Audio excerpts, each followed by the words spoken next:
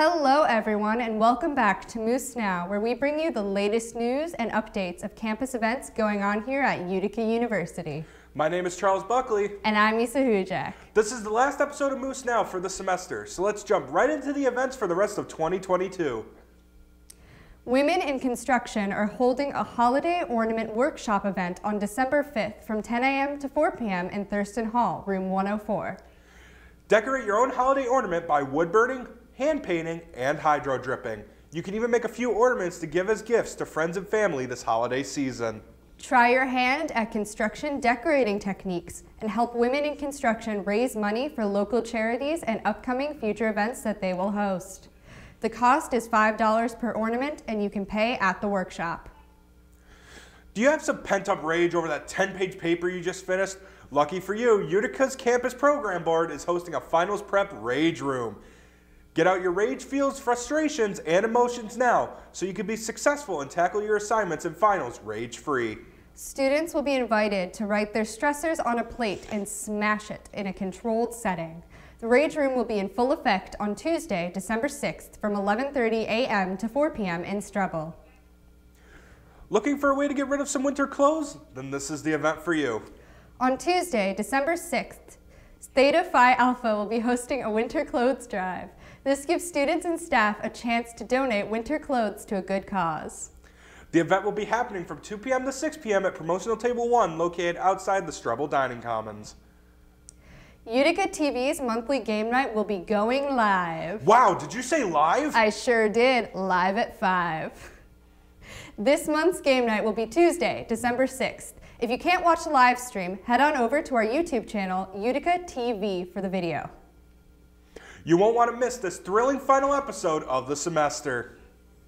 Are you interested in learning about how global human rights are impacting you and your community? On Tuesday, December 6th, the Slice office will be hosting a discussion on how to help refugees in your community. If you're interested in social justice, diversity, equity, and inclusion, rights, and freedoms, then you're going to want to join in. This event will be happening from 4.30 p.m. to 6 p.m. in the Hislop Auditorium located in Thurston Hall. It's the final lunch hour of the semester, and if you're a fan of music, you're definitely going to want to attend. On Wednesday, December 7th, the Utica University Choir will be performing their selection of holiday-themed songs for the Utica community and campus. The event will be running from 12.30 p.m. to 1.30 p.m. in the library concourse. The last episode for the semester also means the last episode of the weather. Corinne, will it be sunshine and rainbows or blizzards and hail? We are in the final stretch of the semester with the last week of classes this week. I hope you are surviving the studying grind and are ready for the long-awaited Christmas break. Let's see what this week will bring for our weather. Monday, the clouds will be high in the sky and our temperatures will be a bit higher as well. Just above the freezing point, we will have a high of 45 and a low of 32. Tuesday brings heavy rain, but the temperatures are expected to rise and there is not much of a difference between our high and low temperature here. It will circle around the low 40s.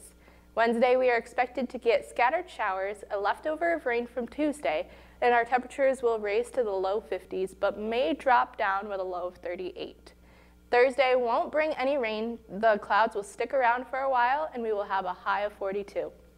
Our circulating temperatures and what it will actually feel like for Thursday may drop down to the low 30s. Our weather almost feels like spring with all the rain we've had mixed with some light flurries. Friday will also bring similar temperatures. We will have highs of 38 and lows of 23.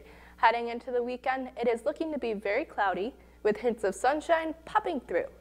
Saturday has a difference of 10 degrees in temperature, topping out with a high of 35 and a low of 25. Sunday looks very similar. You can definitely see the difference in consistency with our whole weekend. We will have a high of 39 and a low of 27. I know last week we got some unexpected windstorms that caused some damage in the local area, and while things aren't predicted to be too stormy this week, I would keep an eye out at your local weather station for the most up-to-date information on storm tracking. As I said at the beginning, this is the last week of classes for our students, meaning it is the last week of weather reports and of Moose Now. Thank you for joining me this semester for the weather. I've had so much fun bringing you all the updates. Have a Merry, Merry Christmas, and I will see you in the new year. Thank you, Corinne. We will see you next semester.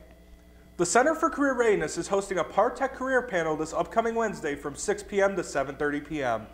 Panelists, who include President and CEO Savneet Singh, CFO Bryan Menar, and other professionals from the engineering field, will be talking about the, the career opportunities that PAR can offer. All students from all majors are invited, and you can register for the event on Handshake, or if you need transportation, email, email careerdevelopment at utica.edu. The event won't be hosted on campus, but it will be at PAR Technology. Want to break out of the habits of procrastination? Well, if you do, Trio Student Support Services is hosting an invite event called Long Night Against Procrastination. The event is scheduled for Thursday, December 8th from 6 p.m. to 9 p.m. in the Hislop Auditorium. Come and enjoy the event as we prepare for finals week. On December 9th in the Wilcox Center from 6 p.m. to 7.30 p.m., the Women's Resource Center will be hosting an Expression Through Makeup discussion space. In the discussion, students are welcome to talk about the misconceptions of makeup related to gender, as well as the reasons why people do their makeup. The discussion will also give students a safe space to express themselves through makeup. We are almost out for the semester, and to help you finish strong, TRIO is hosting the Finals Countdown. On December 11th from 3 p.m. to 6 p.m. in both the Strebel Lounge and the Pioneer Cafe, you can join tutoring services, TRIO, opportunity programs, and Slice to marathon your study session before finals. You can study independently, with tutors, with friends, or you can just trade some study tips with other students. Make sure to set this on your calendar because this event is one you're not going to want to miss. Managing your stress levels through finals week can be quite a challenge. To help with this, on December 12th at 10 a.m., you can stop by the library concourse to de-stress with some canine companions. The Animal Shelter Association is hosting Doggy De-Stress Day, where you can stop by the library and relax with some dogs in between finals. What better way to de-stress than by petting a furry friend this next Monday at 10 a.m.? For the last time this semester, the DEI Book Club is meeting, and, and this time they're discussing the book Whipping Girl, a transsexual woman on sexism and the scapegoating of femininity. The book's writer, Julia Serano, shares her experiences and insights both before and after her transition in order to reveal the ways that fear, suspicion, and dismissiveness towards femininity shape our societal attitudes towards trans women. You can attend on December 15th at 3.30 p.m. via Zoom. The Zoom link can be found on their event page on PioHub. That's all the time we have for this week of Moose Now. Be sure to check your email for the morning mention to stay up to date on campus events. Good luck on your finals, and we hope you have a wonderful break. And always remember to fear the moose!